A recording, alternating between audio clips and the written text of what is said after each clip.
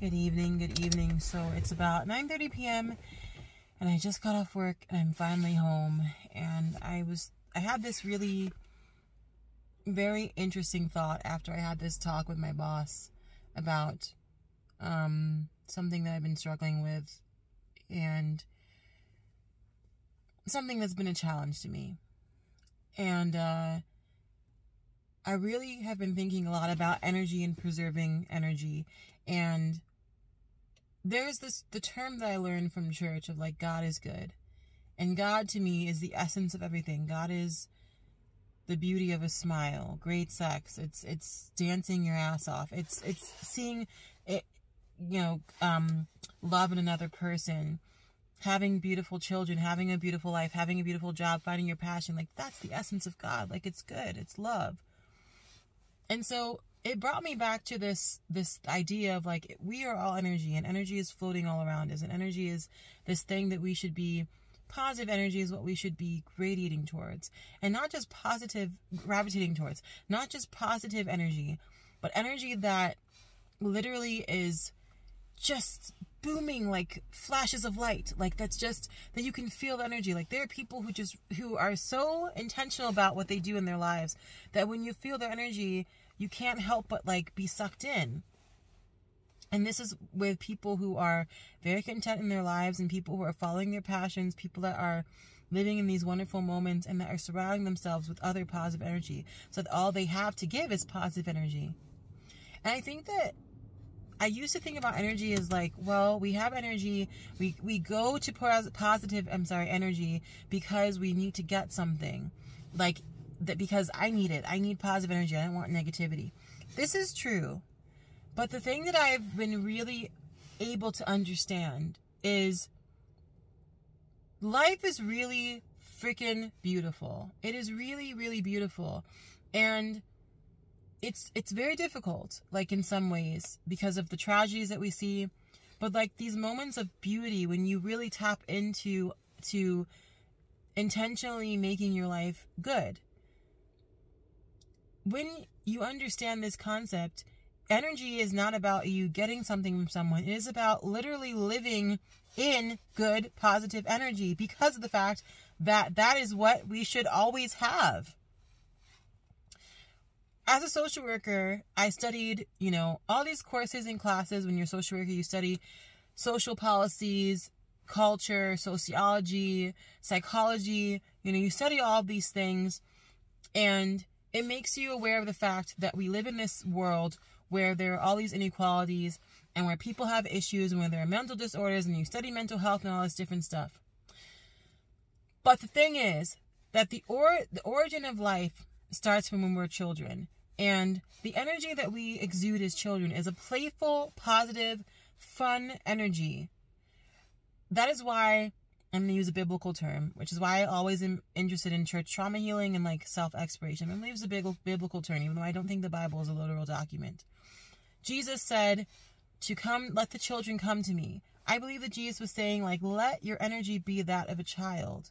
Look at the world with positive eyes. Look at the world that everyone's equal. Look at the world and always remember to have fun. You know, the kingdom of heaven is seen through the eyes of a child.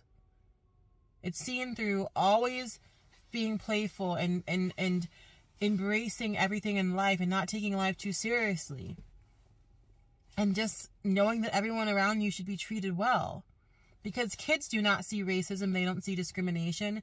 They are literally embodying this playful energy of like, oh, I love you. um, and so and going back to this thought of energy energy is not like being around good energy it's not for you to gain something. It's it's i mean you do gain something but the topic that i'm thinking about right now is like you are surrounding yourself i'm sorry i'm hearing some ambulances. Um the topic that that i'm thinking about right now is the fact that energy you want to be around good energy because it is your birthright.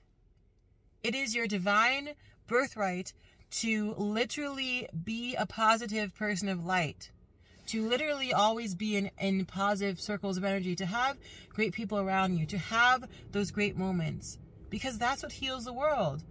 And we have been so traumatized as a human species, and we have normalized so much trauma that even though it's a lot of people are traumatized and most people are traumatized, but we've normalized it as something that you should continue to go through, that we forget that the beautiful energy of just being a radiant person is how everyone should be. And the reason why I do church trauma healing is because I it took me so long. It took me so freaking long. And I need to really put out my content for church trauma healing.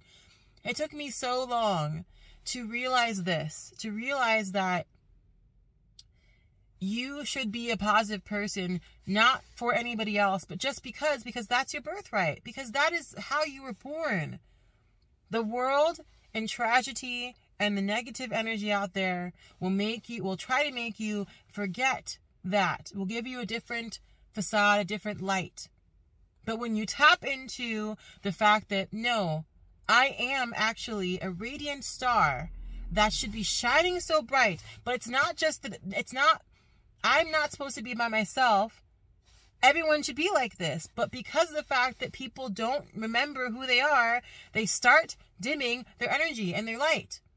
And people put themselves in places of shame and guilt and all these different things, which is why I don't love religion and these stru- structures that we have because they do, in, in many ways, provide people with shame and guilt. When if we didn't have religion and all these differences in culture and all these different um, organizations and groups, we wouldn't have as many of these problems because the fact that when you start religion and you start these differences, naturally one thinks that they're better than another. And then if you put capitalism in there and you start making businesses off of these things, which is what Christianity has done a lot, and I, I know it's happened in other cultures and other religions as well, but Christianity, you know, has capitalized off of um, trying to make their category the best and saying that Jesus is the only way, the truth, and the life, blah, blah, blah, you know. But Jesus was saying the way is energy, the way is being positive, the way is being good to people around you.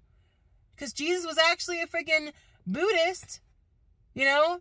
And Buddhist people are saying, like, all the time, find your truth. You know? Find the truth of life. I don't know all Buddhists, but, like, these are the, the people that I know that are positive people of light that are Buddhists, they're the ones that are telling me, like, you need to let go of all this stuff that's bothering you and really embrace your life. Because of the fact that you can, because that's what you should be doing. Not to get something from somebody else, you know, but because that's the way life is at its essence. It is looking at the sun and it's looking at the sun and saying thank you for the light and shining that beautiful radiant light with everybody around you. It's looking at the waves at the ocean being like, oh my God, look at these waves. Like they're so beautiful. It's like dancing with by yourself on the dance floor and being so free. That's what energy is. That's what that's what good energy is. It's not to you get stuff yes, by having your good energy and holding on to it. But it's so much deeper than this. It's the fact that we as humans, and this is very emotional for me because it takes it took me so long to understand this, and I think about all the things that I have suffered through and the ways that we suffer as a society because we don't remember that we're energetic beings having this divine beings having this human experience. Like energy is so important and we have to hold on to it because of the fact that it's who we are. You do get something out of projecting positive energy and like you know we talk about twin people talk about twin flames and like meeting your soulmates and your friends all this stuff but it's about you remembering who you are having this childish beautiful light that just keeps shining. And as society comes as you get older their systems want to dim your light but you can't let that energy be dim you have to like you have to literally be like no i need i need i need to remember who i am I'm super passionate about this, which is why I'm I'm I put out content of like freeing your body and your mind and I'm always very honest because of the fact that to get back to this this positive light, how I've been able to get back to being so positive and beautiful is because I do things just because. Because I can, because I am a positive light and I'm trying to I'm trying to get to that to the most I can in my life and to forsake the things, that's such a Christian term, that have taken control of me in ways I don't like. So I hope you receive this video well and know that you can be a positive good energy because it's who you are.